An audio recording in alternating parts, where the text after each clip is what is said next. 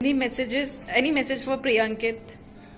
Thank you for all the love and support जो आपने हम दोनों को घर के अंदर घर के बाहर दिया uh, अभी मैं घर के बाहर हूँ प्रियंका घर के अंदर है उसको आपके प्यार और सपोर्ट की बहुत ज़्यादा ज़रूरत है अभी वो uh, मैं भी नहीं हूँ वहाँ पे so please love and support and